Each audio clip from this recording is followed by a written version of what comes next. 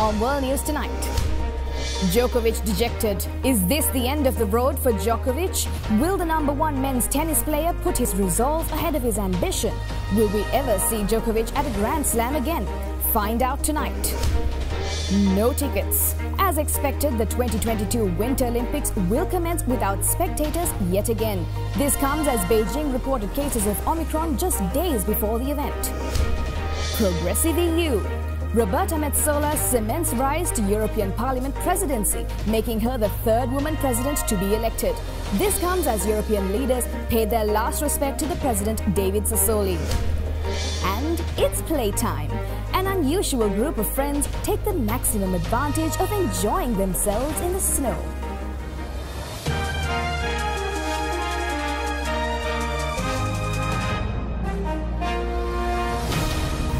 Is Ada Derana World News Tonight. Reporting from Colombo, here is Anuradhi Vikramasinghe.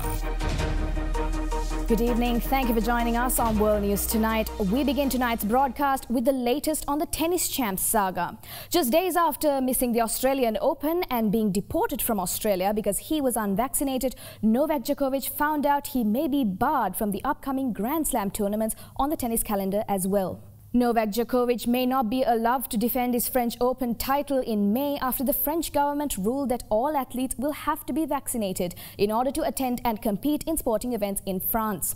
And it's not just the French Open. Spanish Prime Minister Pedro Sanchez said today that Djokovic would have to follow his country's COVID rules to participate in the Madrid Open in April.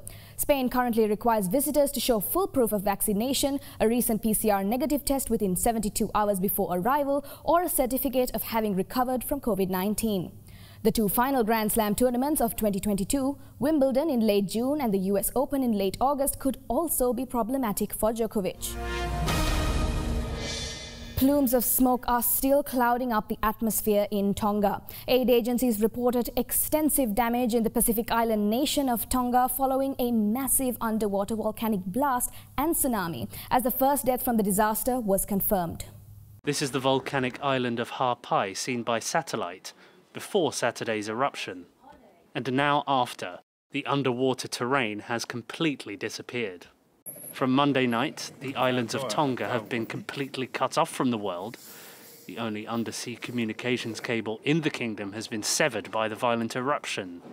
It may take up to two weeks to re establish connections to the telephone and the internet. The Red Cross says it's finding it difficult to do its work on the ground. The combination of ashfall and the tsunami waves will have caused water contamination so we imagine one of the greatest needs is to provide water purification and clean drinking water. We imagine that is priority number one, actually. New Zealand and Australia have sent military surveillance planes to assess the extent of the damage from the sky. The eruption caused a column of smoke more than 20 kilometres high, which was so powerful that it caused a tsunami. The shockwave was so strong that it could be heard in Alaska more than 9,000 kilometres away, it's caused damage as far away as Peru due to abnormally high waves. Tongans living overseas face an anxious wait for news of their families. China says tickets to upcoming Beijing Winter Olympics will only be offered to pre-selected spectators. Organizers say the measure was inevitable to prevent the spread of COVID-19. This is not surprising as China is strictly adhering to the zero COVID policy.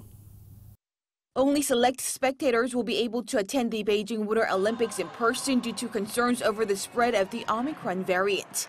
This comes as organizers announced Monday that no tickets will be sold for the Winter Olympic and Paralympic Games due to the quote, grave and complicated situation of the pandemic. Instead, they said they would invite groups of spectators to attend the Games in person. They also explained the invited spectators will strictly abide by COVID-19 countermeasures to ensure the safe running of the Games. The measures come as Chinese President Xi Jinping underscored Beijing's confidence in making the Games a success during a virtual address to the 2022 Economic Forum. We are confident that China will present a streamlined, safe, and splendid Games to the world. The official motto for Beijing 2022 is Together for a Shared Future. Indeed, let us join hands with full confidence and work together for a shared future. Earlier, the International Olympic Committee said tickets will only be sold to spectators living in mainland China who meet certain COVID 19 safety requirements. During the Games, athletes will not be required to get COVID 19 vaccinations, but those who are unvaccinated will have to spend 21 days in quarantine upon arrival in the Chinese capital. Over in the United States, Mother Nature is showing her powers yet again. Winter weather alerts remain in effect in the U.S. across northern New England and the Great Lakes after the storm barreled across and up the country as a major snowmaker. Tens of thousands in its path are still without power with the storm leaving double-digit snow amounts in at least 11 states. Chaos on the coast as a fierce winter storm brings a barrage of snow, freezing rain, and high-powered winds this Martin Luther King Jr. Day. Super windy, a lot of stuff flying out everywhere. Tonight, tens of thousands are in the dark as residents dig out of double-digit totals in at least 11 states. A staggering 22 inches in upstate New York and 14 in Des Moines, the city's worst snowstorm in more than a decade. In Pittsburgh, even first responders struggling to get around. Flakes falling at a fast clip, up to five inches an hour, making for treacherous conditions on the roads. In North Carolina, this tractor trailer sliding off a bridge, and at least two people died after a crash on I 95. Winds packing a punch, up to 70 mile an hour gusts in cities like New York and Boston, powering monstrous waves in Massachusetts and flooding coastal communities. It's amazing, you know, that it's reached this point. The days long winter wallop impacting the majority of states from Maine to Florida, where cleanup crews face a mangled mess after five reported tornadoes tore through dozens of homes. We made it inside, and 10 seconds later, it hit. And tonight, the travel nightmare persists. More than 1,500 flights canceled in the U.S. today after 3,000 were grounded Sunday. It has been crazy, really bad. A winter weather beatdown that forecasters warn won't be this season's last. Ukraine, caught in the crossfires of international superpowers, is pleading to the West for support against Russia. In doing so, ex-President Petro Poroshenko has been recalled to face the judiciary for charges of treason by supporting their Russian oppressor. Ukraine's former president Petro Poroshenko landed in Kiev on Monday to face treason charges, which he says were trumped up by allies of his successor, President Volodymyr Zelensky. His return sets up a showdown that critics see as an ill-judged distraction. Ukraine is currently bracing for a possible Russian military offensive and appealing to Western allies for support. In a brief standoff at border control after arriving on a flight from Warsaw, Poroshenko accused border guards of taking away his passport. Then he addressed flag-waving supporters outside the airport. The treason allegations relate to the financing of Russian-backed separatist fighters through illegal coal sales in 2014 to 15, while he was president. Western diplomats called for political unity in Ukraine ahead of Poroshenko's arrival. Poroshenko's party accused Zelensky of a reckless attempt to silence political opposition. Zelensky's administration says the prosecutors and judiciary are independent and accuses Poroshenko of thinking he is above the law. Ukraine and its allies have sounded the alarm about tens of thousands of Russian troops massed near its borders. After days of diplomacy last week achieved no breakthrough, the United States said Russia was preparing a pretext for an attack, something the Kremlin dismissed as unfounded. Let's go in for a short commercial break. More world news on the other side.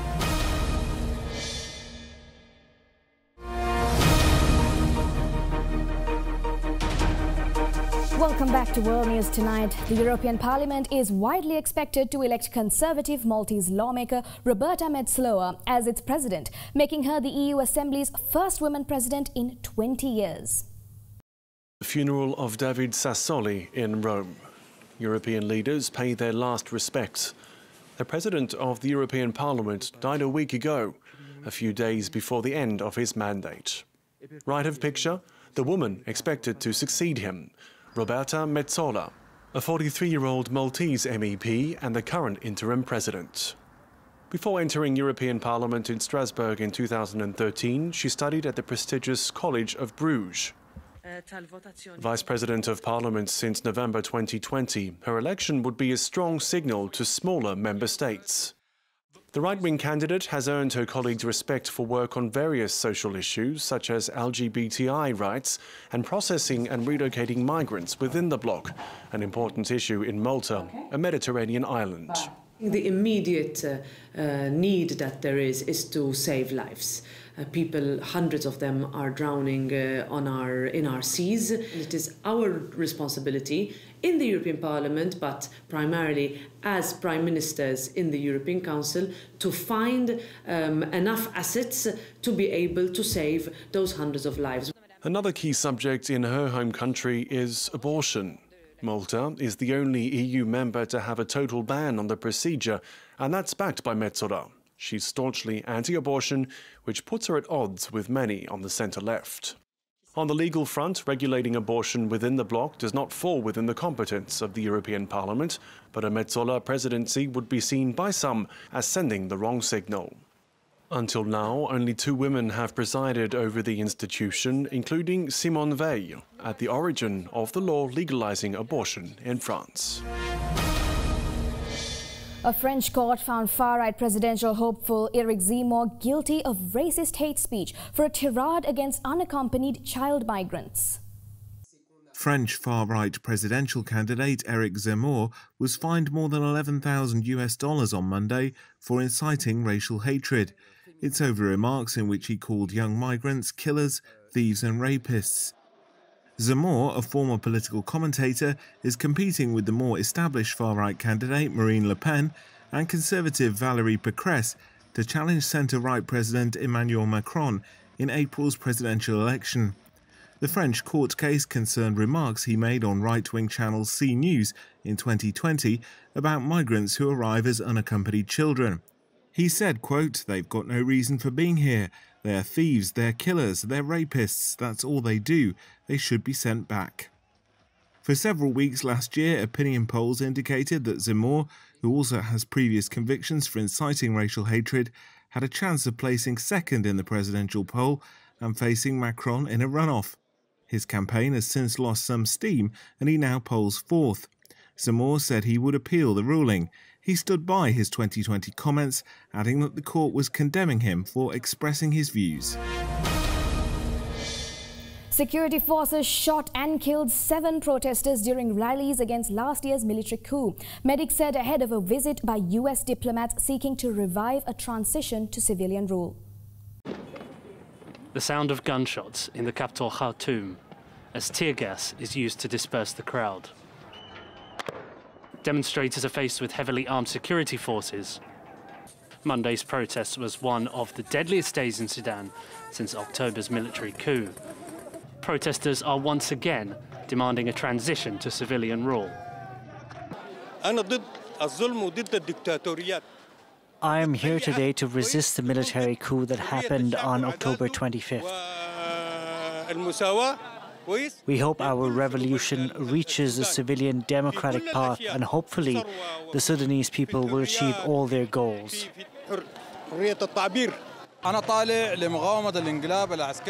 I'm against tyranny, dictatorships, and any regime that stands against people's freedom or justice.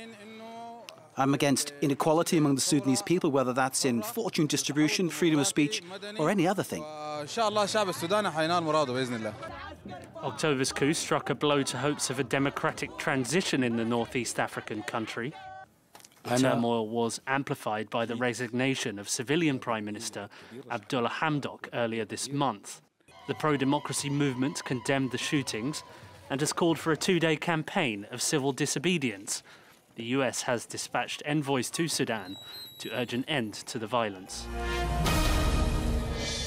The US airlines are warning of a catastrophic disruption if the telecom industry goes ahead with the plans to turn on the new 5G wireless technology that could affect a critical flight instrument on planes.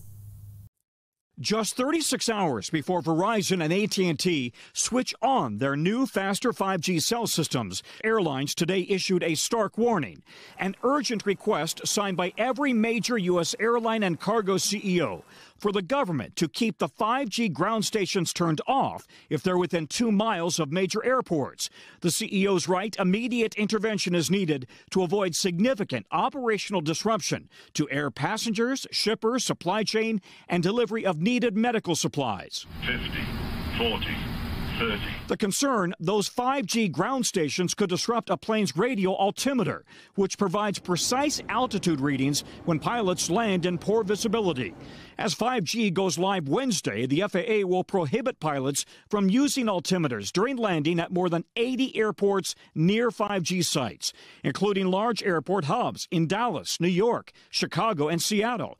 Today, the airline CEOs warned the vast majority of the traveling and shipping public will essentially be grounded, facing cancellations, diversions, or delays. The FAA has issued an airworthiness directive that would significantly impact our operations. The cell phone industry insists the technology has proven to be safe in Europe. It's already delayed rollout twice and says it'll turn down the power at ground stations near some airports. Look, the wireless carriers are impatient to deploy technology that uh, stands to make a big impact, a positive impact on our economy.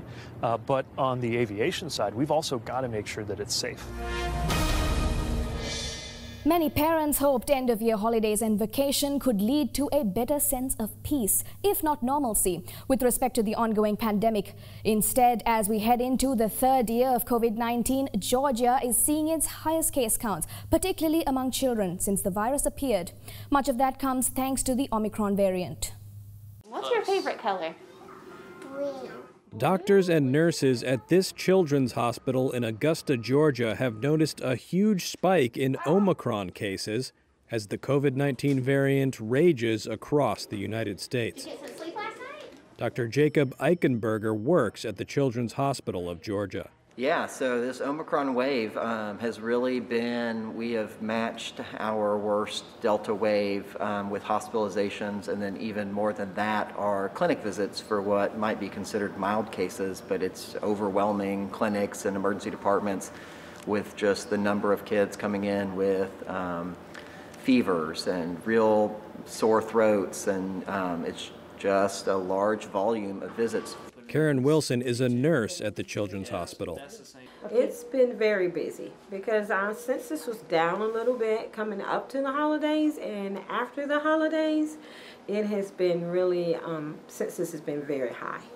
Um, we've had a lot of children coming in with the Omicron, um, with COVID, so it's been intense. Children below the age of five who are not eligible to get the vaccine for COVID 19 remain at higher risk of catching the virus as a result. Hannah Mills, the mother of three month old Baker, said her son's symptoms are mild.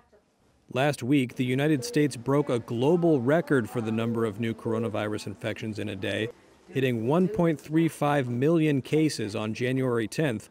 In Georgia, weekly data collected on January 13th showed nearly 22,000 cases for all children under the age of 18.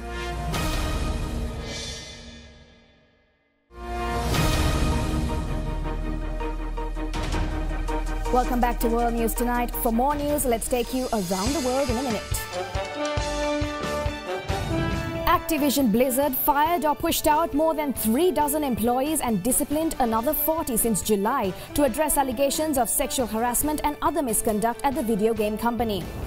Equatorial Guinea led a string of upsets at the Africa Cup of Nations soccer tournament when they beat defending champions Algeria, while Ivory Coast and Mali were both held to draws by unfancied opponents.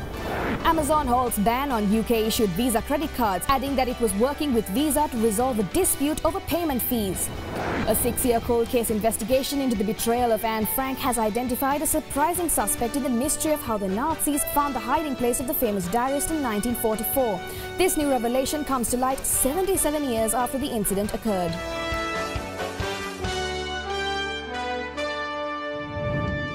The world's 10 wealthiest men doubled their fortunes during the first two years of the coronavirus pandemic as poverty and inequality soared. Super rich keep getting richer. That's part of the findings from a new report on inequality. According to Oxfam, the world's 10 richest people now own around $1.5 trillion. The charity says the world's 10 richest people have boosted their fortunes by $15,000 a second or $1.3 billion a day during the pandemic. At the same time, global inequality is contributing to the death of one person every four seconds. Oxfam says more than 160 million people have been plunged into poverty since the start of the pandemic.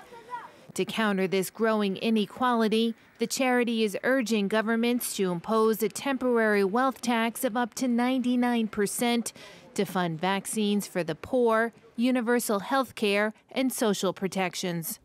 Oxfam is also warning that the pandemic has set back gender equality. In 2020, women lost $800 billion in earnings, and there are 13 million fewer women working now than in 2019. And that's all the news we got for you tonight. Join us again tomorrow for more news around the globe. In case you have missed any of the stories we aired tonight, you can rewatch by catching us on our YouTube page, youtube.com slash Ada Derana English. We're leaving you tonight with a look at a group of unusual friends playing along in the snow. Thank you for joining us. Good night.